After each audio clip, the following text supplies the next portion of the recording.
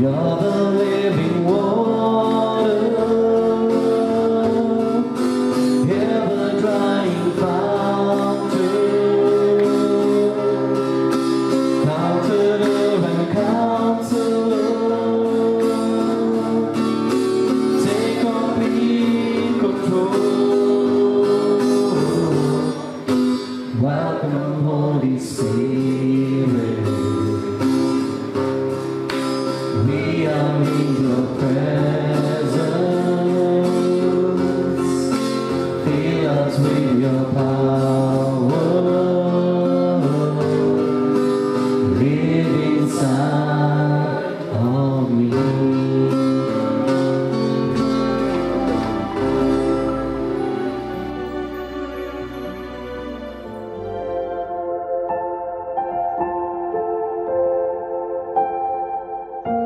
Son and Holy Spirit. Amen.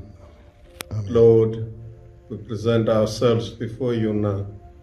Bless us and take over our lives, both body, mind, and soul, so that at this incarnation of your Son, which we celebrate at this time after Christmas, we may be blessed to be yours and be a blessing to others.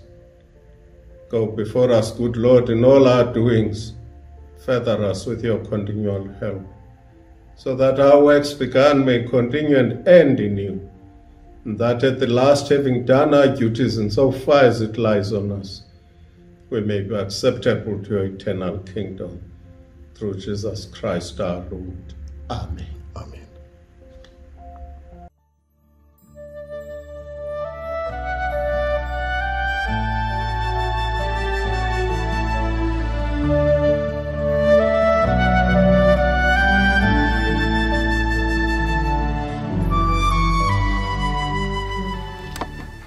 In the name of God, Father, Son, and Holy Spirit. Amen.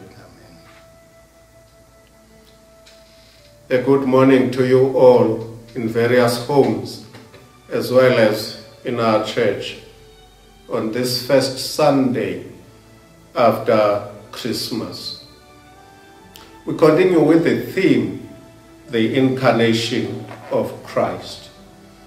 And of course, the lessons are Isaiah 61, 10 to chapter 60 62, verse 3. The Psalm is 148. The New Testament lesson is Galatians 4, 4 to 7. And the Gospel of John, chapter 1, verses 1 to 14.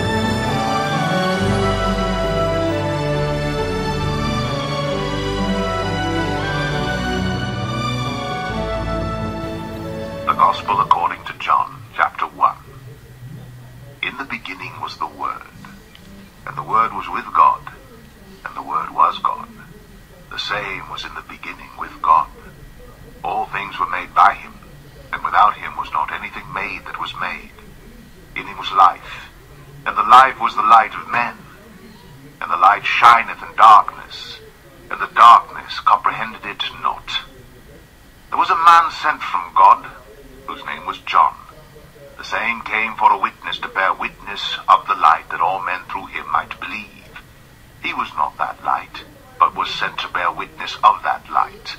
That was the true light, which lighteth every man that cometh into the world. He was in the world, and the world was made by him, and the world knew him not.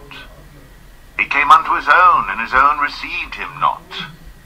But as many as received him, to them gave he power to become the sons of God, even to them that believe on his name, which were born not of blood, nor of the will of the flesh, nor of the will of man, but of God. And the Word was made flesh, and dwelt among us, and we beheld his glory, the glory as of the only begotten of the Father,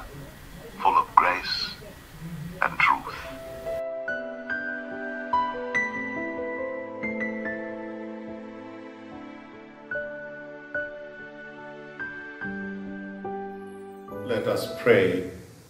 Almighty God, you wonderfully created us in your own image. and yet more wonderfully restored us.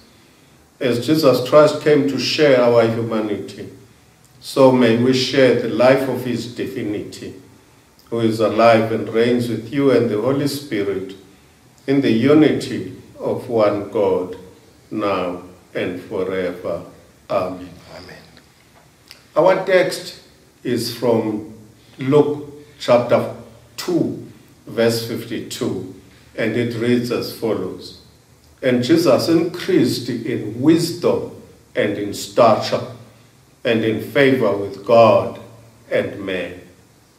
The story of Jesus, according to St. Luke, is a practical research written in a fine Greek of an educated person. Of course, Luke, the physician, is Dr. Luke, um, the medical doctor. Also, not only verse 52, but also verse 40 of the same chapter 2 tells us of the child Jesus growing and waxing strong in spirit, filled with wisdom, and the grace of God was upon him. We all have been children, and perhaps given the privilege of raising children. And we remember our stories as we grow, and some we are reminded of. We have little stories to tell, which makes us observe different personalities as well as characters in children and people. So, um, some of those characters are welcoming, but some are unloving and repulsive, some violent and untrustworthy and undesirable. But in times past, the principle was that of King Solomon in raising up children. Spare the rod and spoil the child. And of course, in times past, the principle was originally referring to corporal punishment. For Jesus and the little children, it means more of an embrace and love. And of course, in Mark, we hear when he embraced the children, he laid his hands on them and blessed them.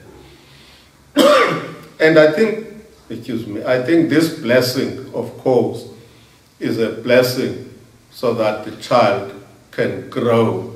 When we utter blessings over our children, our children grow better than us uttering scolding and bitterness and shouting at them and screaming at them. True love entails discipline, of course, and in it given by instruction and not by a rod. For children of the kingdom, instruction should point them always to union with Christ. When we raise our children, we should, of course, introduce Christ at a very early stage so that as they grow, seeing us praying together, and remember, the family that prays together stays together. Let us now look close at the incarnation. What does incarnation mean in Christian theology? It refers to the process of Jesus Christ, the Son of God, being made man, though he is God and the second person of Trinity. According to John's Gospel, the Logos became flesh and dwelt among us. And the Logos is Word. And we beheld his glory, the glory of the only begotten Son of God, full of grace and truth. And grace being an undeserved favor, and truth is about ourselves and our sinfulness and about who we are and about who Jesus is. He was born in the womb of Mary the Virgin, who then theologically was referred to as Theotokos. Theotokos only means the carrier or the bearer of God. And Jesus then grew from infancy to childhood and to a young, energetic Galilean rabbi whose college was itinerant. In other words, he had no built college.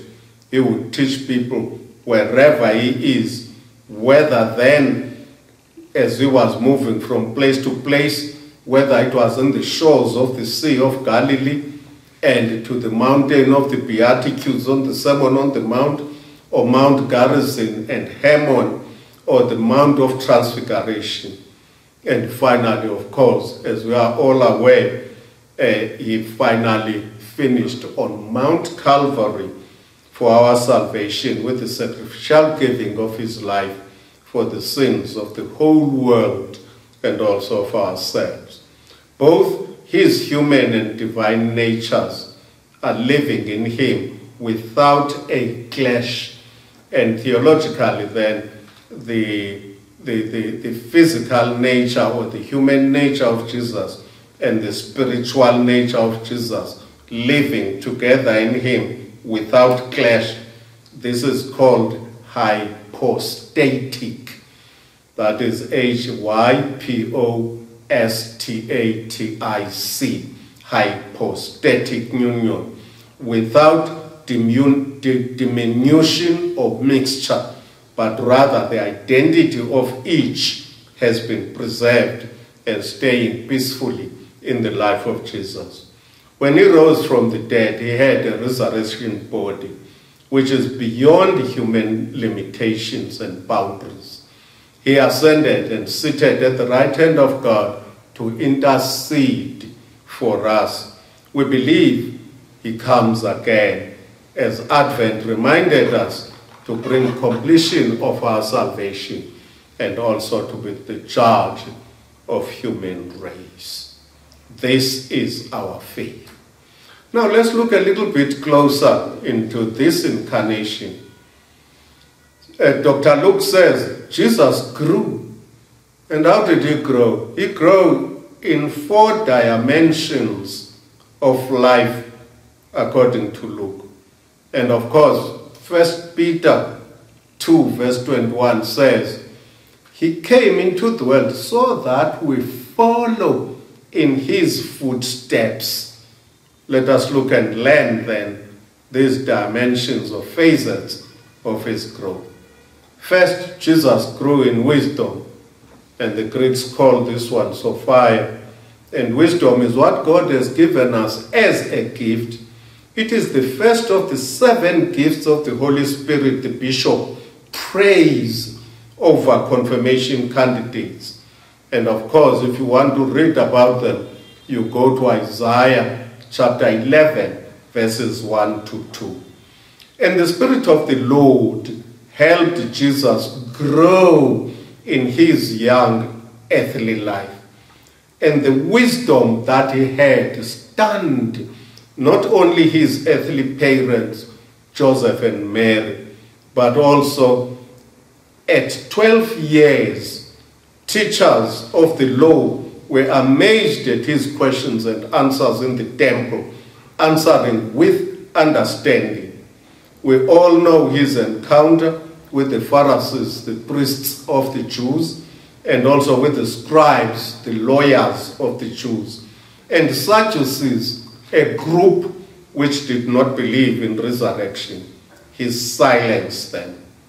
But for your own interest and my interest, I always like to note the encounter with Nicodemus, the ruler of the Jews, who was a Pharisee.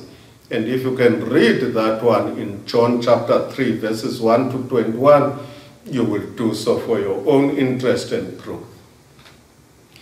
And then now coming to growth, looking at Jesus, God commanded that children be taught to increase and be guided in their wisdom. The mission schools in this country came and guided this carefully, though not without criticism. But the leaders we saw in Tata Nelson Rolihlahla Mandela's caliber were products of mission schools, where the motto was God first, others next, and self last. Instead, now people easily burn schools into ashes when complaining for a tarred road or a clinic that they need in their communities. It is so sad to disrupt the education of our children by unionists, all because God no longer rules and governs our hearts in South Africa. The church with her prophetic voice need not to be tired, but to continue vigorously struggle against sin and corruption, as well as greed in our beloved country, so that our education can be put on par again and that our children can also be educated and have a character.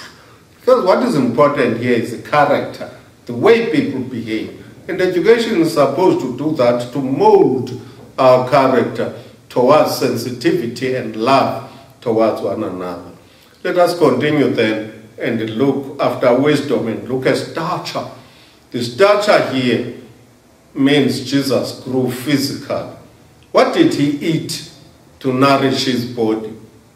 He was carefully minding what goes into his mouth with exercises because he walked most of his ministry and drinking a lot of water, eating bread and fish. These days of health awareness, we need to observe health eating, healthy eating habits, and we need to exercise with good hygienic uh, uh, uh, conducts, especially with COVID-19 pandemic around us. Washing our hands, sanitizing, putting on the mask at all times, and also keeping the distance because this killer disease is still among us. And also, even if the vaccine is found, um, I heard over the radio that uh, it is still going to, to, to, to be given to those in the front line of health, like nurses and doctors. All right, then, be careful then. Look after that body and uh, to keep your body fit and slim is also part of your responsibility. And then the third thing, Jesus had favor with God. And favor with God means grace. In other words, an undeserved favor. And is favor alongside God as the Greek presents it. The Greek presents para. So is, is this chariti para theo. It's favor alongside with God. In other words, what this implies is that the spiritual dimension of our life and our faith should go with God in fellowship for action and witness to the world. It is God's will that every human being be saved and come to the knowledge of the truth. And the truth is Jesus, and Jesus is the liberating truth himself to liberate us from the life of centeredness and selfishness. The last dimension is favor with people. Of course, God created us not to live in isolation, uh, but to live with other people. God created us to make us a community. He made us a kingdom of priests to stand and serve before our God. That is a community. And the church is the glimpses of that kind of community. When Jesus Christ comes to establish his kingdom, we shall actually see that community. And of course, for now, my dear fellow believers at St. Albans, you can read Romans 12 and compare this with Colossians chapter 3, verses 1 to 17, where the code of Christian conduct, St. Paul tries to spell it out. In conclusion, we have now learned how our Lord fully partook of our nature in mind, that is uh, wisdom, in body, that is stature, in spirit, that is favor with God, and in social life that is favor with people. He grew a balanced life, like the four wheels of the car, pumped and measured accordingly, then that car runs smoothly. It does not disturb the driver on his steering wheel. So must be our lives as Jesus inside us with his spirit drives us along to be a blessing to others and also to help minister to others, especially for those in dire needs. We are also so called to look at these four aspects of our life. He came to live an example for us to follow in his footsteps. A mature Christian seeks and ask God in prayer to grow to maturity, being sensitive of himself and also of others. Since I came among you, I have searched for that love and I have tried to establish it. And where I have erred, uh, I want you to uh, accept my sincere apology there. But the search was for forgiveness and also showing remorse wherever I may have gone wrong. When such then reconciliation happens among us, and then we look for, we need to strive and establish that, that, that uh, reconciliation, encouraging the good in every fellow Christian and also human being we meet. Of course, we meet to part and part to meet. But let me tell you, it is sad when we have to part. I don't like it. Well, it's better when we meet. But I'm not far. I'm in Kitzbühel, and hopefully we shall see one another. And maybe when Sharon is tired or she goes on leave with their assistant, then they can ask me to come and help if in the parish I will be, I will not be used. But I will not forget you. And I think um, I have shared your love and I've said a mouthful uh, in the vestry and also seeing that this be my last address in the ministry our rector Sharon direct, directs, I'm filled with gratitude to St. Albans Church for looking after us in the time of our sojourn, sojourning among you. Stay in the love of Christ for yourselves and one another, and keep up the good work the Lord has called you to do. To God be the glory, dominion, power, and majesty on earth and in heaven, above and to all eternity. Amen.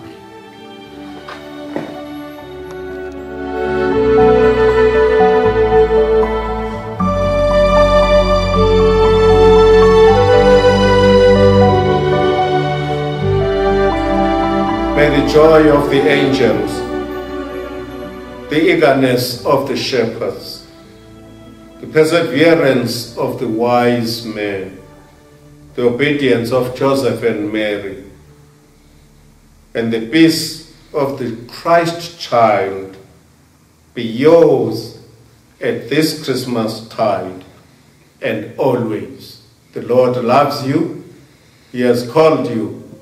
He will never abandon you. And the blessing of God Almighty, Father, Son, and Holy Spirit be among you and remain with you always. Go then in peace to love and serve the Lord. In the name of Christ. In the name of Christ. Amen. Amen. Hallelujah.